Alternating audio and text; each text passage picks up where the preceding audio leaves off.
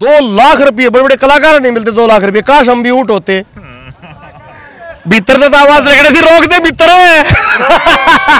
नमस्कार दोस्तों, मैं हूँ आपका दोस्त विनोद शर्मा और भिवानी के पशु प्रदर्शनी मेले से एक ऐसी तस्वीर आपको दिखाई दे रही होगी दोस्तों। स्पेशल ये वो कैमल है वो ऊँट है जिसने आज सीएम साहब को बिठाया और उस पर ही बैठकर स्पेशल इंटरव्यू हो रहा है। मेरे साथ मौजूद हैं गजेंद्र फोगाट जी। कौन नहीं जानता, एक सुपरस्टार कलाकार के तौर पर बात करें या फिर हरियाणा सरकार में पब्लिसिटी सेल के जो इंचार्ज हैं हेड हैं, मेरे साथ मौजूद है। तो कितना मज़ा किया? तीन दिन आप मौजूद रहे मैं तो वो तो मज़ा आया ही। मैं तो पहले ये बताता हूँ मेरे को तो बहुत डर लग रहा है। और मैं देख रहा था सीएम साहब जब इस मुझे नहीं पता था सीएम साहब इसी ऊँट पे बैठे थे। तो मैं अब महसूस कर सकता हूँ सीएम साहब कितने डेयरिंग होंगे। मतलब कितना उनके अंदर साहस है। मेरे को तो बहुत डर लग रहा है। आपको भी लग रहा है? आपका चेहरा बता रहा है कि आप बहुत डर रहे हो। जी लकड़ में हो रहा है तेरा उसके बावजूद। हाँ ये ये डर की हँसी है। यह डर की हँसी है। अच्छा डर मैं भी उतना लग रहा हूँ। पर सीएम साहब नहीं डरे आज। ये कमाल है मैं सैल्यूट करता हूँ सीएम साहब को। क्या कहेंगे जिस तरीके हाँ। से इस ऊँट को इस तरीके से इनाम मिला है और सीएम साहब में इतना कॉन्फिडेंस है तो इस ऊँट को इतना प्यार मिल रहा है किसान सेल्फी ले रहे हैं ये बच्चे यो ले रहे हैं। यो ऊँट तो अमर हो गया। इस ऊँट की तो जय बोली लागती होगी एक लाख तो इसकी तो बीस लाख लगेगी। जिस इस किसान ने कहा कि दो दो साल पहले भी तीन साल पहले ऊँट पे बैठे थे। पचास बाद में करवाना भाई।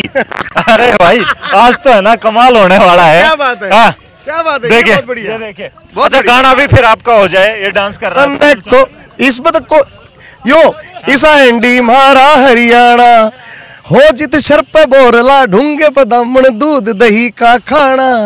ईसा एंडी मारा हरियाणा। नाश्ता अंदर से जो पेट से आवाज़ निकलती है कलाकार के वो निकल नहीं रही है क्योंकि पेट में तो गुदगुदी हो रहा है। भीतर तो आवाज़ लग रही थी रोक दे इस ऊँट पे बैठ के ये कहते ही होंगे क्योंकि डर ज़रूर लगता है क्योंकि अमूमन रोज़ाना बैठते नहीं है काफ़ी फ़ेमस ये इसके अलावा ऊँट की जो सवारी है ऊँट की जो सवारी है वो रेगिस्तान की है। रेगिस्तान में क्या होता है कि ऊँट रेत पे चलता है उसके पैर जमते हैं। ये मैदानी इलाका है। इसमें अगर आप ऊँट को चलाओगे तो आपको ज़्यादा ज़ोर लगेगी। मैं तभी तो कहता हूँ सीएम साहब को सल्यूट करना चाहिए हमें सबको। भाई सीएम साहब तो कतई नहीं हल रहे लेकिन बीएसएफ के जवान तो इसी ऊँट पर देश की सुरक्षा करते हैं वो रोज़ाना दौड़ते हैं कई किलोमीटर। हाँ वो वो जो आपका जैसलमेर का इलाका पाकिस्तान से सटता हुआ है जो रेगिस्तान का इलाका वहाँ पे तो ऊँट चलते हैं। आपको कश्मीर में सब के जवान नहीं मिलेंगे ऊँटों पे। तो ऊँट बेसिकली रेगिस्तान का है। अभी ऊँट को देखो ये शायद कुछ पानी पिला पानी पिला रहे हो आप लोग? क्या दे रहे टिफन। अरे क्या बात है। तो टिफन में क्या है? अच्छा ये ऊँट जो है अपने हाड़ी की पाड़ी की रोटियाँ भी लेके गाँव तक चला जाता है। ये इस तरह का ये दिखा रहे हैं। आपको स्पेशली दिखाना चाहिए इतना समझदार पशु। मतलब ये समझते हैं कि लोग की पशुओं में पशु पखेरु जो है एक ही चीज़ मानी जाती है। इनके अंदर भी वो समझदारी है।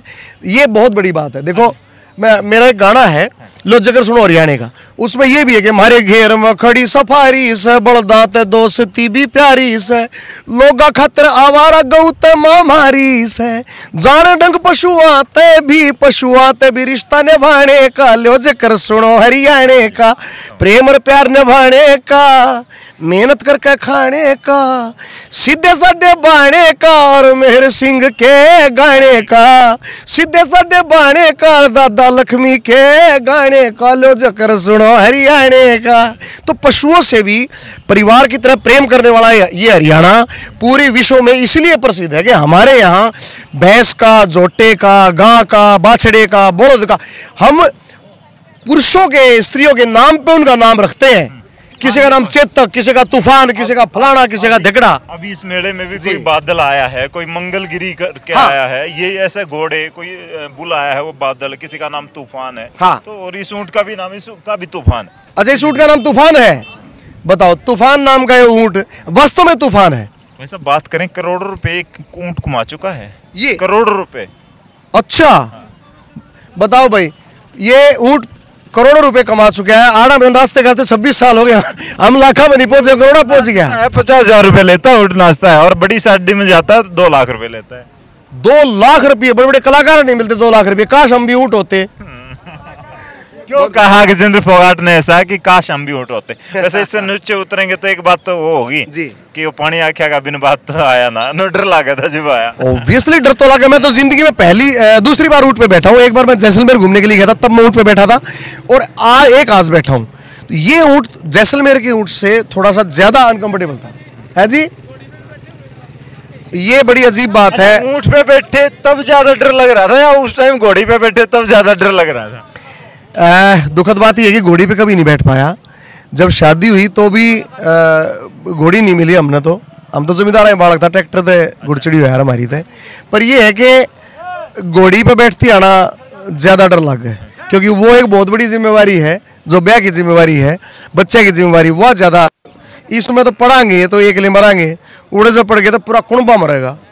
जिस तरीके से देखा ऐसे नीडी किसानों ने आज ट्रैक्टर जीते हैं यहाँ जी। पर जिनके घर में मेरे हिसाब से मुश्किल से कहना हालाँकि एक गलत बात हो जाती है लेकिन जिसके घर में साइकिल ना हो और उसके घर में सीधा ट्रैक्टर पहुँचे तो सरकार की नीति कहाँ तक सार्थक होती है जो किसानों को बढ़ावा और सब का विकास सबका साथ वाली बात देखो पहली बात तो आपने जो मेला खूब दिखाया मैं पहली बात तो बहुत धन्यवाद करता हूँ मीडिया का सोशल मीडिया का यूट्यूबर्स का इन्फ्लुएंसर्स का फेसबुक के अपने साथियों का, कि उन्होंने ना इस मेले की जो खास खास खासियतें थी। देखो, सबसे बड़ी खासियत तो ये है कि एक पशुपालक, जो अपने पशु ने अपने बालक की डाल बच्चे की डाल पाला है सारे साल, उस खातर साल में एक तो ऐसा मंच हो, जित वो अपने जोहटे ने जित वो अपने बुढ़द ने, जित वो अपनी गां ने आठ दिन का है मधुमक्खी वाले, मछली वाले भी आ रहे थे।